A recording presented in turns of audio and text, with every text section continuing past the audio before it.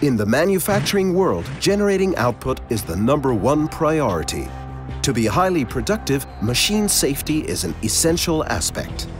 Earlier safeguarding equipment was expensive, complex, and even reduced throughput. A packaging machine, for example, needed to be safeguarded by space-consuming and inflexible mechanical tunnel systems. The interior moving mechanism can be hazardous if the carton magazine is empty. That could happen when carton boxes need to be refilled. The box erector inside the machine housing can be a possible hazard if someone encroaches it.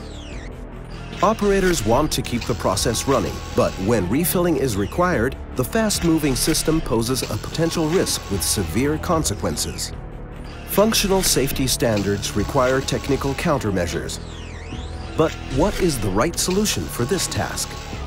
With the new Safeguard detector from SICK, package objects like carton boxes can be treated like a natural hard guard. Two tiny optical MultiPulse sensors continuously check if the magazine is still filled up.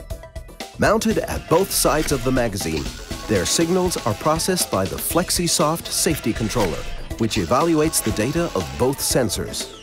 If the magazine is about to become empty, the sensors will detect the situation immediately and bring the machine to a safe stop.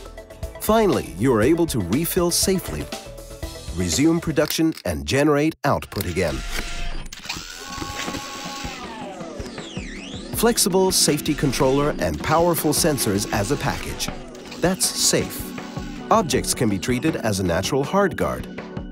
That's smart less complex safety functions, and miniaturized sensor housing. That's simple. Safeguard Detector from SICK. Natural protection by material.